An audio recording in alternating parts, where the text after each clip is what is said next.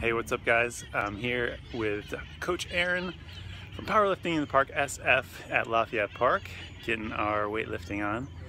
And I wanted to show you what he has me doing today to break through some sticking points on the bench press. So I've got about 155 on the bar, plus what he's done is doubled up these heavy resistance bands around the bottom, braced it for some weight support.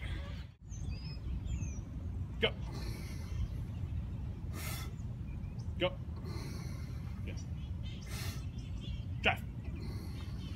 So continuing in that theme of doing some dynamic work, dynamic pressing, we go into some clapping push-ups.